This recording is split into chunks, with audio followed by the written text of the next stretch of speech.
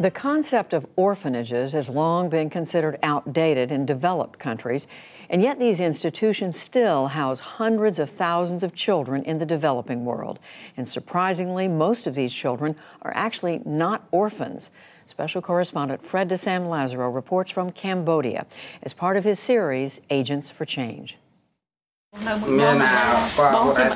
Six year old Makara Reith spent three months in an orphanage in Battambang, Cambodia. But on this day, his mother's fingerprint made it official. He was going home.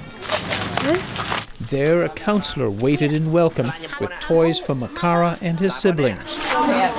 I'm happy that I can see my mom and my sister and my brother. Makara was one of thousands of Cambodian children who live in facilities commonly called orphanages here. Like him, the vast majority are not orphans. Neither parents nor the facilities are looking to offer the children for adoption. Parents, many in dire poverty, are easily convinced to place their children in so called residential care facilities, says Jedtha Pon, co founder of a non-profit called the Cambodian Children's Trust. Most of them think that in an orphanage, the child will have a better life with access to food, education, and medical care. Now, Makara and his mother, Minya Norn, are part of an effort by several aid agencies working with Cambodia's government to return children to their families. I feel like I have my child closer to me. Now I feel happy happy that she now has all three children together, but this was a day of mixed emotions guilt for sending her son away, worry about the future. She's single and has no formal education. My life has been very difficult. We just survive day to day. Under the new campaign, she'll have help. For at least two years, Cambodia Children's Trust provides a safety net for the families it serves. If they have domestic violence, mental health issues, or any children who are not going to school, we will work with the social worker. We also provide support in terms of food. The challenges for this family and for the broader campaign are daunting. It begins with the image Cambodia cannot seem to shake of the Khmer Rouge genocide, its two million victims, displayed in museums, immortalized by Hollywood. Cambodia 2019 has nothing to do with Cambodia 1979. Sebastien Marot founded a vocational training charity 25 years ago that's helped thousands of marginalized children and their parents. The movie Killing Fields and all the movies that come out about Cambodia is about this. So when people think Cambodia, they think that all the children are being victims of, of destruction and everyone is orphaned which is far from the truth. With the civil strife over, he says, there are far fewer orphans now. Many children still live in poverty, but their number has also dropped amid robust economic growth, notably in tourism to Cambodia's world famous temples. Yep. There may be fewer orphans, but orphanages have also become a growth industry.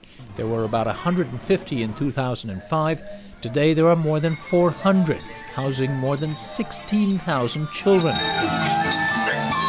Often they are put on display, dancing for tourists who are then coaxed to leave a donation. We learned to dance. We performed for foreign visitors. It's not fun. It's so exhausting. 14 year old Dara and his sister Dari, who's nine, were recently reunited with their mother after six years in an orphanage where they recalled lives of physical abuse and insufficient food. It wasn't fun. There's profit, Marot says, in pity. It's an easy sell. Uh, child in a terrible situation, fly on the eye, give me. Uh, $5 a month. If it were that easy, it would be fantastic, but it's not. Then there's voluntourism, a thriving industry in which college or gap year students pay agencies to place them in orphanages. Each year, tens of thousands of young Australians, Europeans, and North Americans come to Cambodia to volunteer. They'll spend a few days, sometimes weeks, in orphanages, mostly teaching English to the children child development experts say not only does this not help the children, it actually harms them. It comes from a very good feeling that I'm helping, But realistically, would you like to have your teacher change every week? Children thrive on nurturing long term relationships with adults, the kind usually found only in a family.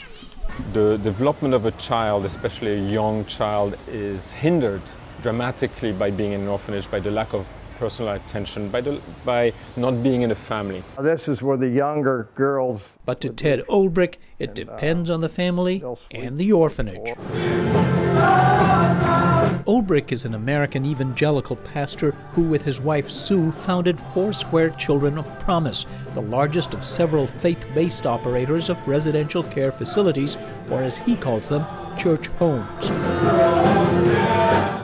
Some older religion based groups have joined the campaign to deinstitutionalize children, but others, like Foursquare, have resisted. The Olbrichs say they opened their first church home in the early 90s because there was a pressing need. We didn't come here intending to take care of orphans. We came here to, to build a church. And we wound up having these kids dumped on our doorstep. And that need has only grown, he says, to 106 homes, driven by family dysfunction that's widespread and social mores. Our biggest uh, source of children is children that that had mothers who died in childbirth. Now, those children are considered cursed. Widows are also marginalized in Cambodia, he adds, and they are brought in to staff their facilities. Each has about 25 children. These widows, they, they live with the kids and they're there with the kids their entire life that they're growing up in the orphan homes. Many then profess their Christianity. Not a requirement, he says, but a good outcome.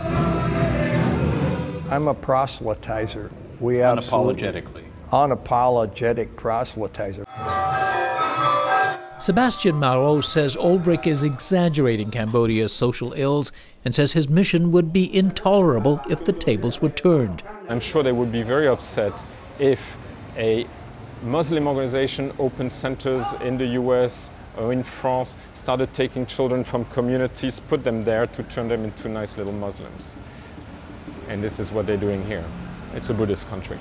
He says orphanages are an outdated concept, closed long ago in France and the U.S. in favor of placing children in foster families and adoption. That's the goal in Cambodia, but it's not easy given the poverty that keeps life fragile for many families and limited resources for family reintegration, which ironically is the cheaper option. It's about 10 to 15 times cheaper to support a child living with their family rather than to bring them into an institution. The Olbrichs say their institutions are family and they have no plans to scale them back. The Cambodian government's goal is to reduce the number of children in orphanages by a third by next year. For the PBS NewsHour, this is Fred de Sam Lazaro in Phnom Penh, Cambodia. Fred's important reporting is a partnership with the Undertold Stories Project at the University of St. Thomas in Minnesota.